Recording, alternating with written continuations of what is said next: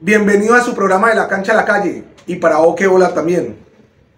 Este informe es sobre el partido que acaba de terminar, eh, una práctica de la sub-20 del Deportivo Cali con algunos ya profesionales contra el equipo de Puerto Cabello de Venezuela. Un partido donde la gente no tenía muchas expectativas porque no iba el equipo base. Pero ¿qué sucede? No había entrada al público, jugaron para analizar jugadores que se podían quedar. Por ejemplo, Riascos nos dijo el día domingo uno de los directivos Calderón exactamente que Riascos se iba para Jaguares, pero Riascos hoy jugó. Entró en la, en la nómina, no inicialista, pero sí entró en el segundo tiempo. Ahora, en el desarrollo del partido, el partido quedó 2-1, ganó el Deportivo Cali, goles de Alonía y Dávila. Dos canteranos buen los canteranos y juegan mejor que el equipo A y el equipo B. Porque todo hay que decirlo. Lamentablemente a De La Pava no se le quiere dar tiempo, se le acabó el tiempo. Porque es que el equipo no se le ve nada de trabajo, con todo el respeto, con el que piense diferente.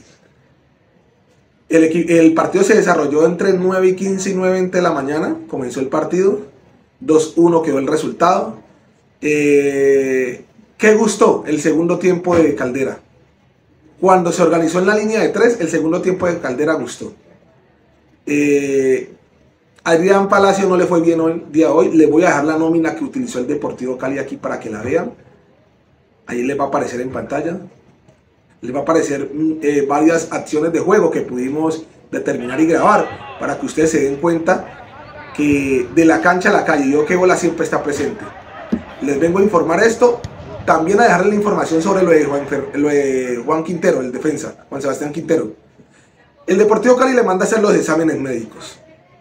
Pasa los exámenes médicos igual que Fabián Castillo. Ahora, todo el mundo sabe que es hijo de Quintero, uno de los directivos del Deportivo Cali. Guido Jaramillo llama en la noche al papá y le dice que no va a contar con Quintero porque hay conflicto de intereses. Dios mío, portémonos serios.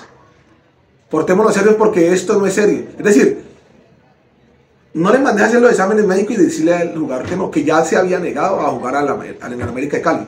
Porque decía que él de corazón verde y de hueso verde. Y está bien, es respetable. Pero no le pueden hacer esto a un jugador. Ahora, en las redes sociales él postea que necesita más el Cali de él en estos momentos que él del Cali. Y es verdad, estoy de acuerdo. Porque así mucho no le gusta el jugador, viene a hacer un proceso interesante en Fortaleza siendo capitán de Brasil y en la Copa Libertadores con Pereira hizo una presentación muy buena. Entonces, la verdad, el Deportivo Cali necesitaba en estos momentos de este jugador. Lamentablemente no, no van a contar con él, lo de Fabián Castillo sí se va a dar. Y el día viernes comienza el Deportivo Cali en la ciudad de Pereira. Esperemos a ver cómo comienza el equipo de Jaime Lavapava, que no hay, la verdad, nada de confianza en él. ¿Qué piensan ustedes? Dejen los comentarios aquí abajo para que cada vez que hablemos del Deportivo Cali les lleguen las notificaciones.